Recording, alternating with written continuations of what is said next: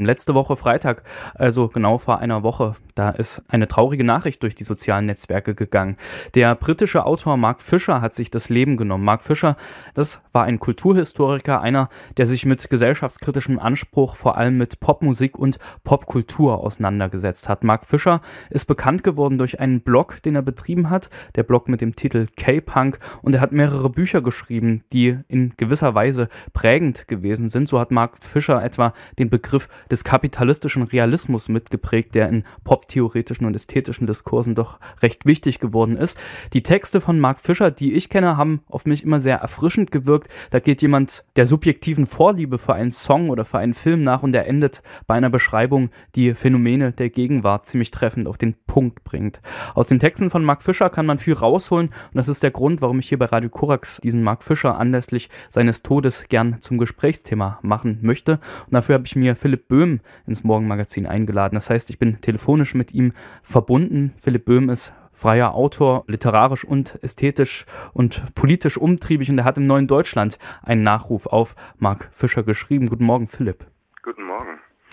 Ja, ich habe jetzt schon so ein paar Stichworte zu Marc Fischer gesagt. Mich würde interessieren, ähm, wie du eigentlich auf Marc Fischer gestoßen bist und was, äh, ja, als was für ein Denker du ihn kennengelernt hast. Also was macht in diesem Sinne Marc Fischer für dich vielleicht aus?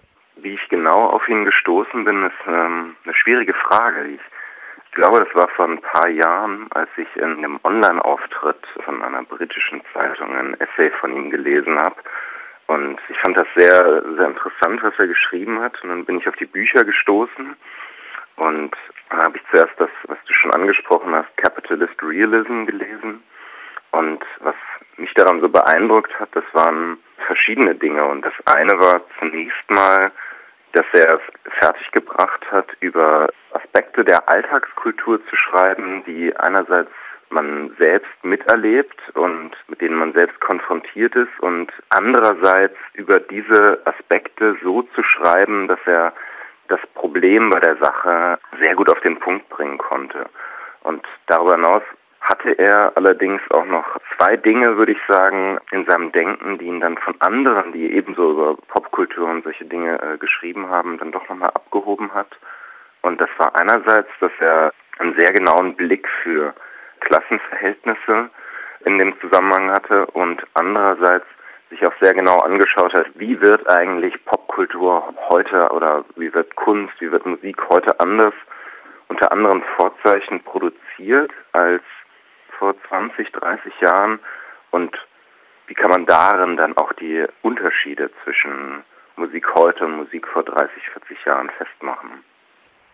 Und das ist ja ein ganz interessanter Aspekt, den du äh, ansprichst, nämlich dass sozusagen ja eine Betrachtung von Klassenverhältnissen oder sozusagen verschiedenen Produktionsregimen im Kapitalismus, dass so eine Betrachtung eben einhergeht mit einer Auseinandersetzung mit Popkultur und Popmusik. Und das ist ja auch was, was du in deinem Nachruf auf Mark Fischer im Neuen Deutschland mit angesprochen hast, wo du geschrieben hast, dass die Niederschlagung des Bergarbeiterstreiks von 1984, 85 ganz prägend gewesen ist für Mark Fischer. Und das ist ja ein Ereignis der Gewerkschaftsbewegung und der Klassenkämpfe. Und da liegt, wenn man sich das jetzt erstmal ganz unvoreingenommen anschaut, ja eine Verbindung zur Popmusik erstmal nicht unbedingt auf der Hand. Inwiefern war dieser Bergarbeiterstreik in England ja so prägend für Mark Fischer? Wie hat er auch diese Verbindung vielleicht dann geschlagen? Der Bergarbeiterstreik ist in der Hinsicht, bildet der eine Zäsur insofern, dass mit der Niederlage des Bergarbeiterstreiks, es ist nicht nur sozusagen diese eine gewerkschaftliche Niederlage, die da passiert, sondern damit verliert auch sozusagen eine bestimmte Vorstellung vom Sozialstaat, eine bestimmte Vorstellung von gesellschaftlichem Zusammenleben, verliert da eine ganz wichtige Schlacht. Und Margaret Thatcher, die ja sozusagen auf der anderen Seite steht und mit äh, diversen Argumenten diesen Bergarbeiterstreik bekämpft hat. Die ist dann eine, die ähm, in Großbritannien danach ganz stark staatliches und soziales umkrempelt. Und ihre bekannteste Aussage, also tausendmal zitiert aus dieser Zeit, there is no alternative, die einfach meinte, all das, wofür die Miners in diesem Streik kämpfen, das ist eben unrealistisch, das ist sozusagen, das ist die Vergangenheit und es gibt keine Alternative zu dieser Zukunft, für die sie steht. Diese Aussage, there is no alternative, die prägt dann eben nach Mark Fischer ganz stark die Jahre danach. Also er hat in einem Interview mal gesagt, so er, er hat diese Zeit sehr prägend wahrgenommen und er hat aber gesagt, er hätte sich nie vorstellen können, dass das wirklich so schreckliche Folgen auch für die Gesellschaft hat, weil, weil was danach eben passiert ist, die Durchsetzung des Neoliberalismus in Großbritannien und eben verbunden mit einer ganz starken Depolitisierung weiter Teile der Bevölkerung und eben der Aufgabe von Solidarität als einem gesellschaftlichen Konzept, dass das eben die Gesellschaft unglaublich tief prägt und eben auch vor der Popkultur keinen Halt macht. Und da ist das interessant, dass andere vielleicht hier so eine, so eine, so eine abstrakte Analogie gezogen hätten und sagen, gut, nach der Durchsetzung des Neoliberalismus, nach dieser politischen Niederlage gibt es eben eine gesellschaftliche politische Perspektivlosigkeit und das betrifft dann auch die Popkultur. Also es gibt dann auch in der Musik, gibt es dann nichts Utopisches mehr oder andere Dinge. Aber er schaut sich dann auch genau an, was macht eigentlich dieser Siegeszug des Neoliberalismus mit den Produktionsbedingungen der Künstler. Und da sagt er, gut, der englische Staat hat nie Musik unterstützt, aber gewisserweise hat das doch gemacht, indem es eben sowas gab wie Sozialhilfe, indem es sowas gab wie Wohngeld und sozialen Wohnungsbau und dass das ganz sehr, sehr konkrete alltägliche politische Dinge sind, die dann schrittweise zurückgefahren wurden und die was machen mit den Produktionsbedingungen, unter denen Musik entsteht. Und er sagt eben, Innovation in der Musik, das braucht einen Freiraum, also das braucht auch eine gewisse ökonomische Sicherheit, damit es auf einer breiteren Ebene also funktionieren kann. Also und in der Folge nimmt er eben wahr und äh, ich finde, das ist eine sehr treffende Beobachtung, dass schrittweise nach dieser Niederlage der Arbeiterbewegung und dem Siegeszug des Neoliberalismus, dass dann eben die Innovation in der Popmusik, dass die langsam abstirbt und das macht er fest an so Retro-Phänomenen, also Pastiche-Rock, dass ähm, er sagt, gut, man, man kann ein Musikstück aus den 50ern, kann man sehr deutlich von einem aus den 60ern unterscheiden und es geht so weiter, nur Dinge aus den 90ern klingen dann auf einmal wieder wie Dinge aus den 70ern oder für die 90er trifft es noch nicht so stark zu, aber ganz stark dann auf jeden Fall für die Nullerjahre, wo eben sich Sachen anfangen auf einmal zu wiederholen. Du hattest jetzt schon angesprochen, das Thatcher-Regime, was ja ganz eng verbunden ist, sozusagen überhaupt mit der Durchsetzung des Neoliberalismus und das äh, zentrale Schlagwort von Thatcher, was ja auch stand für dieses Regime, das sie verkörpert hat, war dieser Spruch, there is no alternative. Und das ist ja was, was Mark Fischer ganz direkt auch mit aufgegriffen hat als Stichwort in seiner Realitätsbeschreibung. Eben das Buch, das wir beide schon angesprochen hatten, heißt ja Kapitalistischer Realismus ohne Alternative. Das ist dieses Essay von Mark Fischer, eher so eine Art Flugschrift. Und ich habe äh, im letzten Jahr ein Interview geführt, in dem dieser Begriff des kapitalistischen Realismus mehr oder weniger zufällig auch aufgetaucht ist. Ich habe da auf einer Tagung mit Tina Tonheim gesprochen, die forscht eher im Bereich der Theaterwissenschaft, wo ja aber auch der Begriff des Realismus ziemlich bedeutend ist. Und ich habe da Tina Tonheim einfach mal gefragt, was es mit diesem Begriff des kapitalistischen Realismus auf sich hat. Und sie hat da zunächst geantwortet mit einem Zitat aus dem Stück Mutter von Bertolt Brecht und will sie hier sozusagen zu Wort kommen lassen, um sozusagen sich diesem Begriff des kapitalistischen Realismus mal anzunähern. Also da gibt es ja eine ganz berühmte Schlussstelle, in der dann gesagt wird, dass quasi aus niemals heute noch werden können und wer besiegt ist, wird vielleicht mal Sieger sein und soll weiterkämpfen. Und das ist vielleicht ähm, wichtig, dass dieses Stück ähm, quasi 1905 geschrieben wurde, also in einer vorrevolutionären Zeit, in der es sehr repressiv zuging.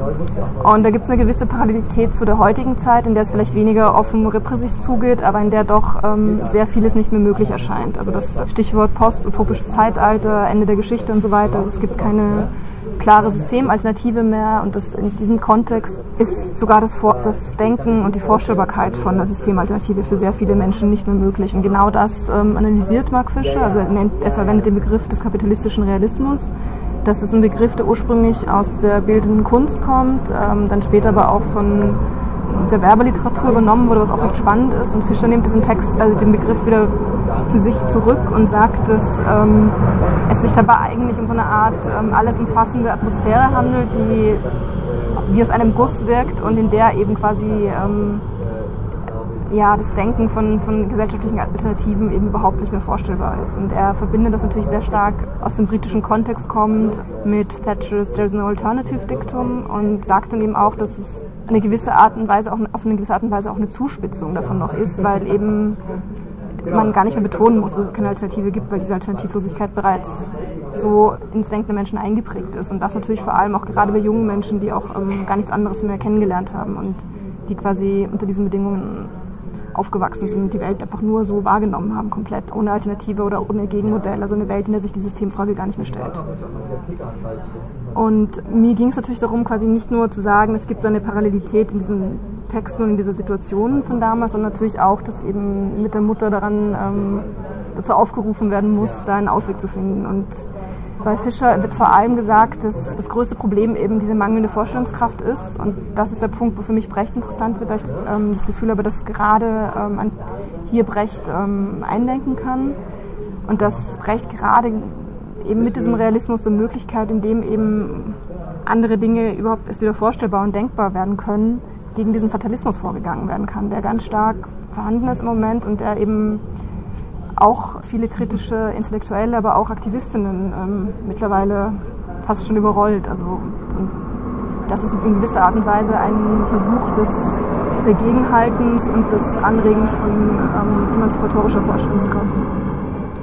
Tina Thornheim sagt das hier über den Begriff des kapitalistischen Realismus. Dieses Interview habe ich äh, geführt direkt sozusagen an der Humboldt-Universität, also mitten in Berlin-Mitte und da fährt eben diese U-Bahn immer vorbei auf dieser einen Höhe da und deswegen ist das hier vielleicht teilweise so ein bisschen im Rauschen untergegangen, was Tina Thornheim da gesagt hat. Also sie hat ja Bertolt Brecht und Mark Fischer so ein bisschen gegenübergestellt, wo sie sagt eben, ähm, ja, Mark Fischer als Denker einer verloren gegangenen Zukunft, als Denker einer auswegslosen Gegenwart und Brecht als ein Realist, der gerade durch die Betrachtung der Gegenwart aber über über die Gegenwart hinausweist. Das klingt jetzt so ein bisschen in dieser Darstellung so, als ob Mark Fischer ein Denker gewesen ist, der also eher ein resignatives Denken vielleicht, also das selber gar keine Alternative denken kann. Da würde mich interessieren, Philipp, wie das für dich ist, wie du da Mark Fischer wahrnimmst als derjenigen, der den Begriff des kapitalistischen Realismus geprägt hat. Also Gibt es da eine Alternative bei ihm? Inwiefern scheint da trotzdem was auf vielleicht, was auch über die Gegenwart hinausweist?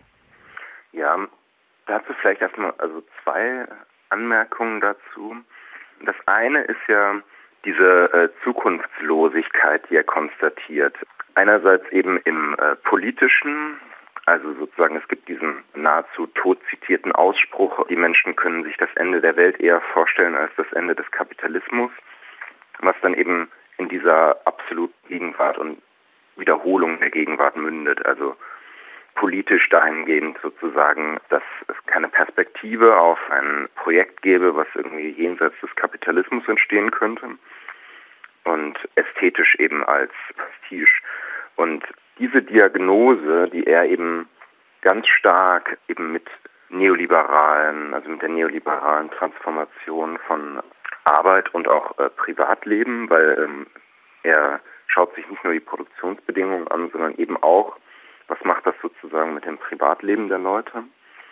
Also diese Diagnose und damit auch dieser Zustand der Welt, diese Geschichte ist für ihn nicht fertig geschrieben. Er sagt allerdings auch, und das Zweite, was immer sozusagen die Popkultur mal an Potenzial hatte, also auf das Leben von Menschen einzuwirken. Also er redet da gar nicht mal sozusagen von politischem Potenzial oder einem Potenzial einer Erkenntnis in der Popkultur, sondern er sagt erstmal nur, was, was immer die hatte an Potenzial, wirklich den, den Menschen irgendwie was zu geben. Er sagt, das ist, ist auf Randbereiche ist das nahezu vollkommen verschwunden. Und er gibt also ein Beispiel, was ich sehr, sehr prägend finde oder was sich bei mir sehr stark eingeprägt hat. Er, er war ja auch lange Zeit Lehrer und er hat ein Beispiel gegeben, dass er ein Problem, was er mal hatte, ist, dass er nicht wollte, dass Schüler in seinen Klassen irgendwie äh, Musik hören, weil er meinte, gut, die müssen sich irgendwie darauf konzentrieren, dass sie ihre A-Levels schaffen. Und ein Schüler sozusagen hatte immer Kopfhörer im Ohr und er sagte, nimm die mal raus. Und der sagte dann, nee, ich habe die im Ohr, aber da läuft überhaupt gar keine Musik. Er braucht das einfach das Gefühl, dass er sozusagen es hören könnte. Und ein andermal sozusagen hatte er sie irgendwie um den Hals hängen und sie lief so leise, dass er sie nicht hören konnte. Also es ging einfach nur um die reine Anwesenheit von Musik. Und dann sagt er, gut, das, das zeigt einfach, dass irgendwie so, so, so die Musik einfach was ist, was so, so im Hintergrund des Lebens dieser Leute passiert, aber es sagt ihnen überhaupt gar nichts mehr. Und das heißt, einerseits erhofft er sich jetzt einfach nicht von der Musik sozusagen da einen neuen Antrieb. Er sagt, es, es, gibt sozusagen Musik, die eben noch interessant ist. Das ist eben diese gespenstische Musik, also die er in diesem in seinem zweiten Buch Ghost of My Life sehr stark macht.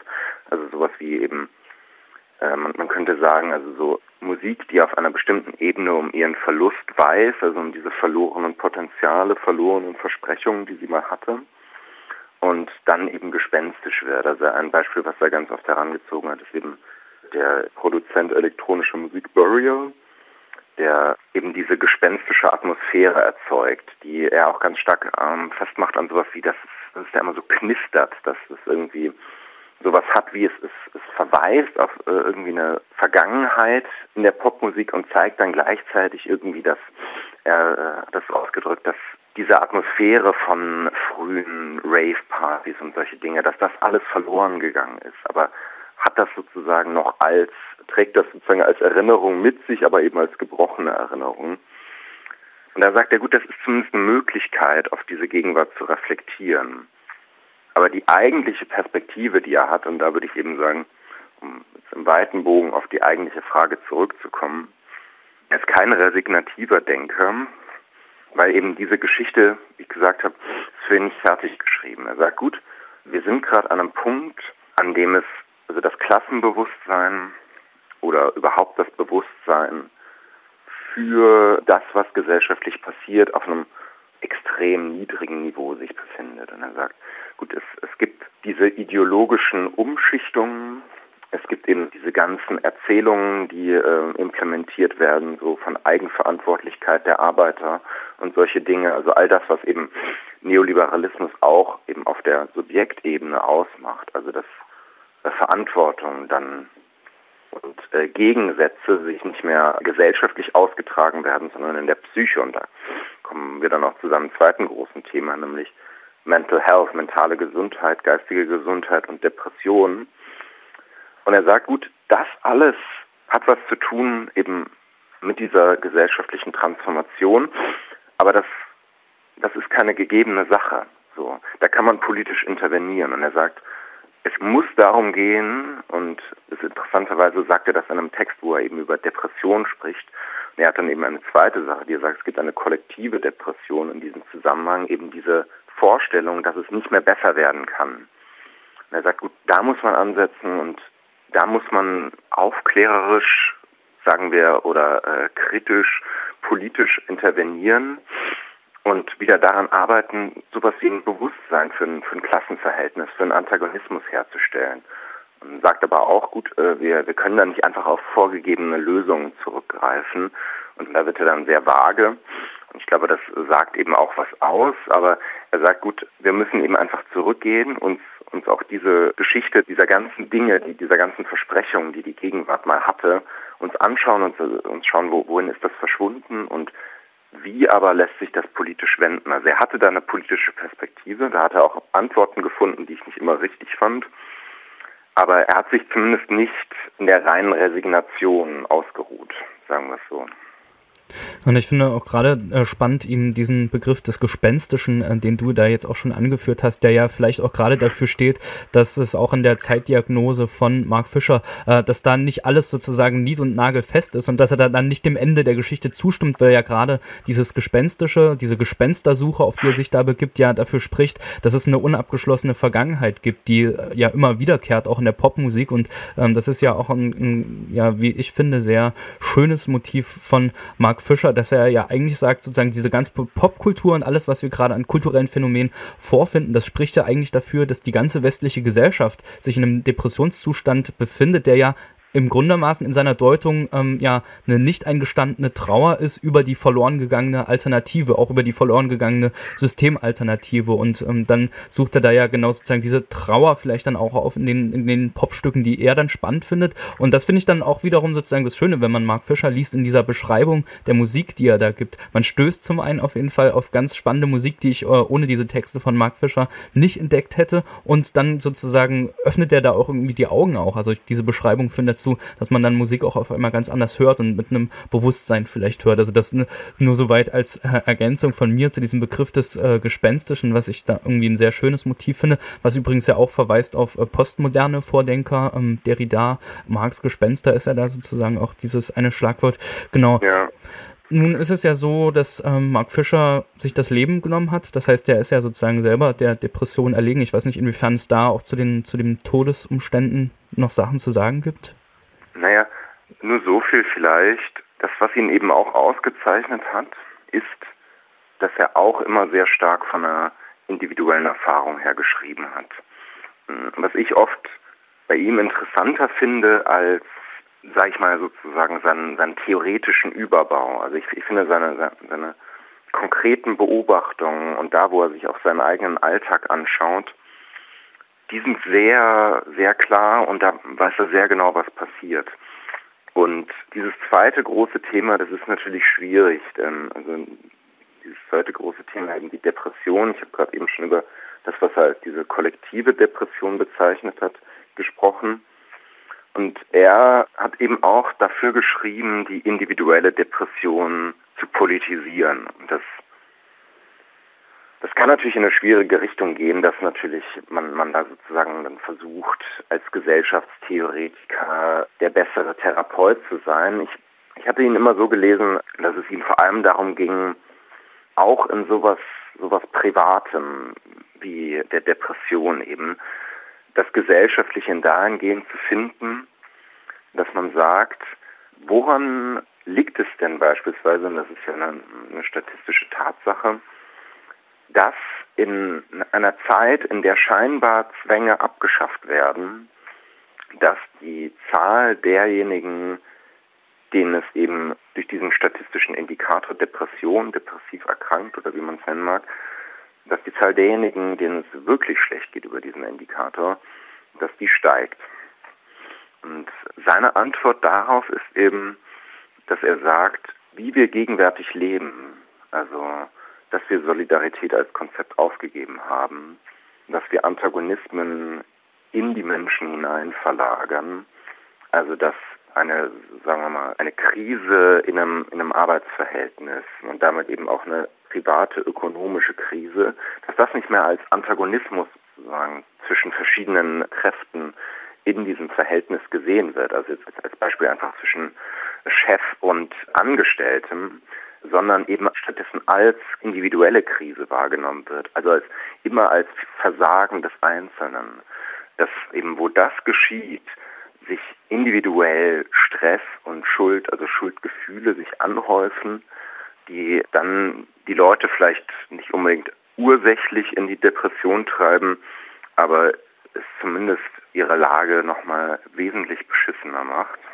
Und das ist sicherlich auch das Traurige oder das nochmal Traurigere an seinem, also an Mark Fischers Tod ist, dass man sehr deutlich sieht, also dass er da sehr genau das auch an sich selbst erfahren hat, was es eben heißt, in dieser Gesellschaft zu leben und daran sehr, sehr stark zu leiden. Und ich will mich da nicht in Spekulationen versteigen, weil ich selbst diese Perspektive nicht annehmen kann. Aber es wird natürlich auch für ihn die gegenwärtige Zeit als nochmal als nochmal hoffnungsloser sich präsentiert haben.